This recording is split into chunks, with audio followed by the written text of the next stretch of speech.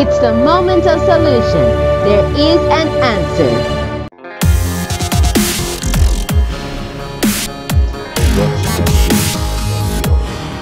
God's mercy, His mercy, His mercy. Today, the topic of our discussion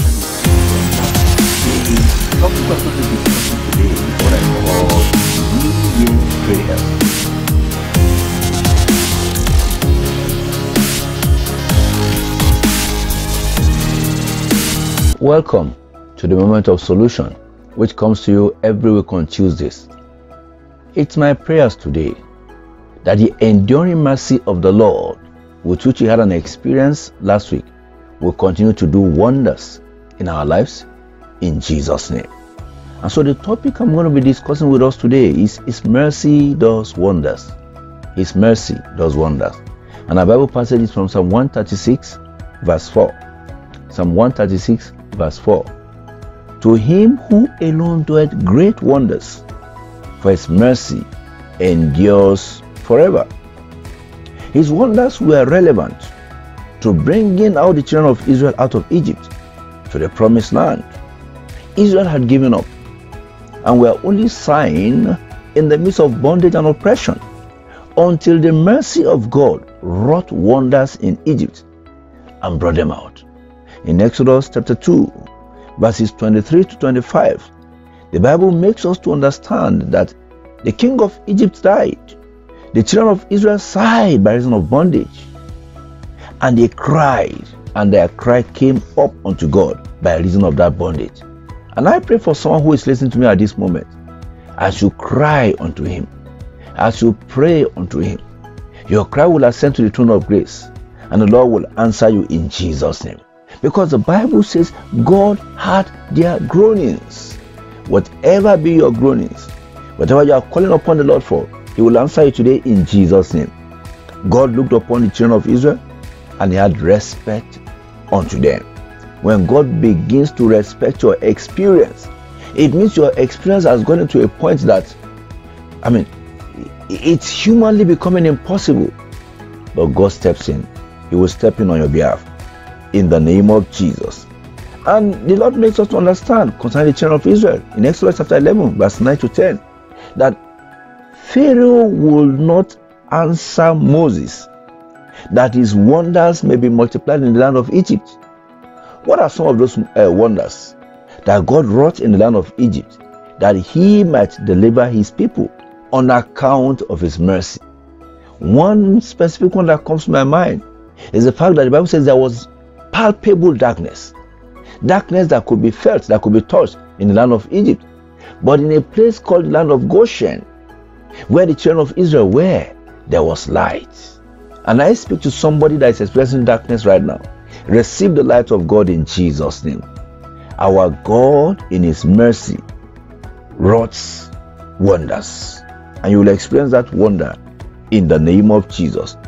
When Moses was talking about the wonders that God did in Egypt, in Deuteronomy chapter 4, verse 34, Deuteronomy chapter 4, verse 34, he made it known that God went into another nation, which was Egypt, and he brought a nation out, which was Israel, by temptations, by signs, by wonders, by war, by a mighty hand, by a stretched out arm, by great terrors, according to all that the Lord did in Egypt. And that tells me one thing whatever it will take for God to intervene on your behalf, God is not lacking in ammunitions. His mercy will wrought wonders in your life in Jesus' name. Because the Bible tells me that He does wonders without number. No limitations to His mercy, no limitations to His, to his wonders. No wonder the Bible tells us that His, his mercy, His mercy is new every morning. Yesterday's mercy does not preclude you from receiving today's mercy. Job chapter 9, verse 10. Job chapter 9, verse 10 says, Our God does great things past finding out, yea, and wonders without number. So there is no point that God will say, Oh, I've done enough wonder in his life, or I've done enough wonder in his situation. No, his wonders are without number. Lamentation chapter 3, verse 22 to 23 says, It is of the Lord's mercy that we are not consumed. His compassions fail not. They are new every morning. Great is thy faithfulness. And so, if he so, I mean, if he does wonders by virtue of his mercies, you must praise him for his wonders, that he might do more. Psalm 107, verse 31 says, Oh, that men will praise the Lord for his goodness and for his wonderful works to the children of men. Israel praised him when his wonders led them out of the Red Sea. In Exodus chapter 15, verse 11, say, Who is like unto thee, O Lord, among the gods? Who is like thee, glorious in holiness, fearful in praises, doing wonders? So his holiness, his praises, culminating what? In his wonders. In his wonders. All because he's a merciful God. When you look at the story of uh, Nebuchadnezzar, the story of Nebuchadnezzar in Daniel chapter 4, verses 2 to 3, you see Nebuchadnezzar saying, I have experienced the mercies of God. I have experienced the wonders of God. What happened to him? He was warned. He didn't take to that warning.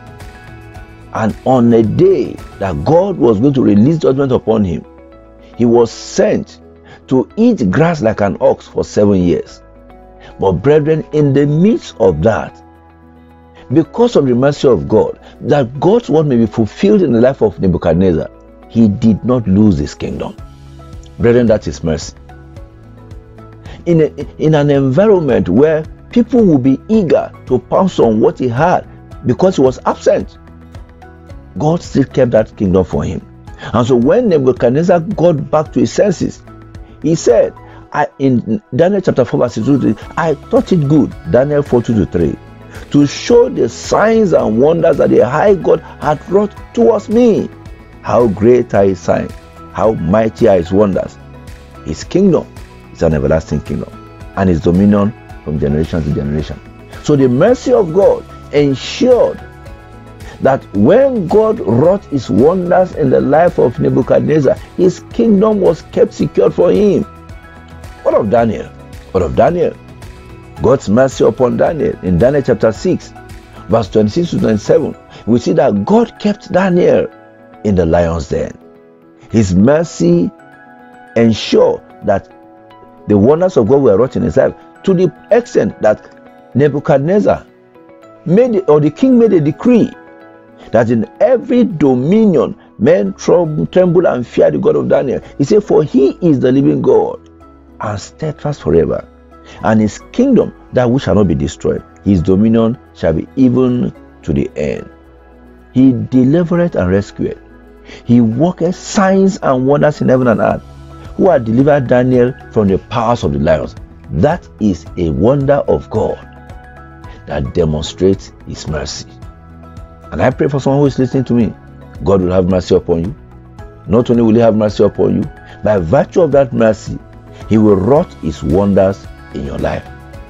What greater way than looking at a very unique mercy of God is His mercy in creation. His mercy in creation. The Bible says, In the beginning, God created the heavens and the earth. The earth was now Genesis chapter 1, verses 1 and 2. The earth was without form and void. Darkness was upon the face of the of the of the earth. And the Spirit of God moved to and fro. Before he got to verse 3, that he began to say, the Bible said, and God said, Let there be light, and there was light. When you look at the sequence of creation, you will see that God created everything that man will need before he created man. Brethren, his wonders in creation. He began to say, Let there be, and there was. Let there be, and there was. And I speak to somebody's life today. God's word will come into your life, and his creative powers will manifest in your situation in the name of Jesus. Then that his mercy might be demonstrated.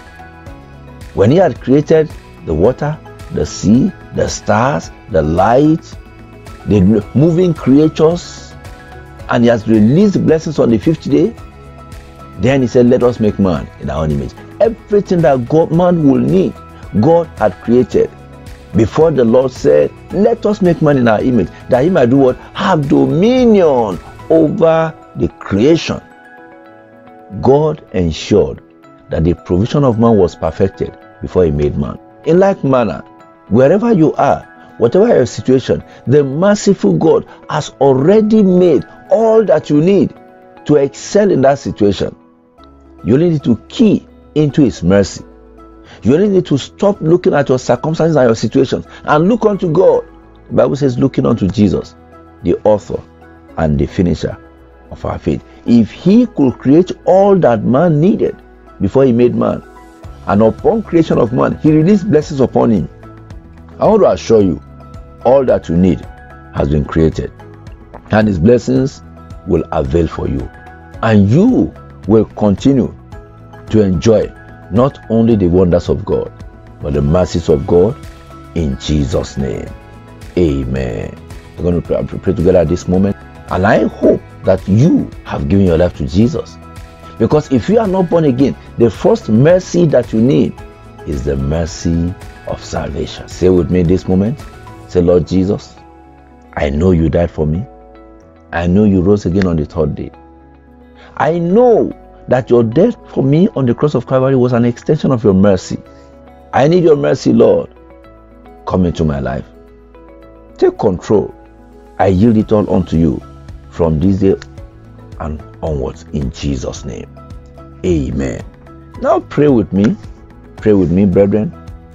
Say, Father, have mercy upon me. I want to experience your wonders in every area of my life. I want to experience your wonders in all ramifications of my life. Have mercy upon me, O Lord. Extend your wonders unto me. You did it to Daniel. You did it to Nebuchadnezzar. Have mercy upon me, Father. Extend your wonders unto me in the name of Jesus. Pray that prayer with all the zeal in you. Have mercy upon me, Father, and extend your wonders unto me. That is number one. Number two, you are going to pray and say, Father, have mercy upon me and let me experience your creative wonders. Let your creative miracles begin to manifest in my life. In the name of Jesus. You can go a step further and say, Father, make me an instrument of creative miracles. Have mercy upon me, O Lord. Make me an instrument of creative miracles. In the name of Jesus. Have mercy upon me, Father, and make me an instrument of creative miracles. Finally, you are going to pray and say, Father, have mercy upon me and let me make my, the heavenly home gloriously, triumphantly. Let me not miss my place in eternity. Have mercy upon me, O Lord. Let your mercy avail for me. Let your name be glorified in my life. Thank you, Heavenly Father. In Jesus' name we are praying. Amen. Thank you for joining me for this moment of solution. It's my prayers that the mercies of the Lord in all its ramification will avail for you and you will praise God eternally in Jesus' name. See you next week, next week on the moment of solution. God bless you. You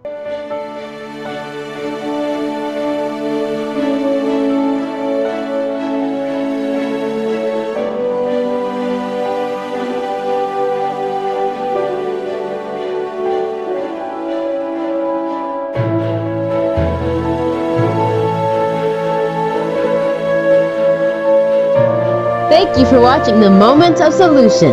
Don't forget to subscribe, comment, share, and like. God bless you.